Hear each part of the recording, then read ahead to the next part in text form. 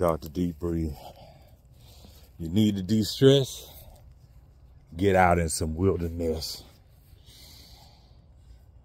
Get out there and do some nice deep breathing.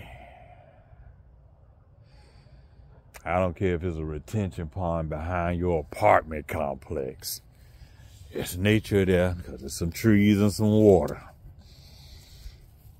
You have to do it for your sanity.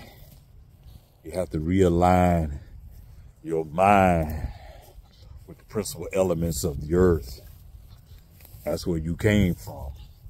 That's what you're made of. Phosphorus, calcium, magnesium, salt. All these elements are in the earth. You replenish and refortify those elements when you get out into the source and realign with them. It's a mind cleansing. It's a body cleansing. It's a conscious cleansing.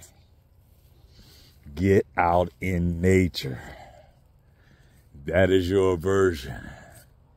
That is your escape from the daily grind. That is what's going to free your mind.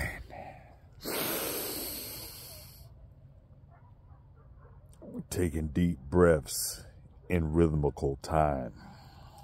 This is Dr. Deep Breathe.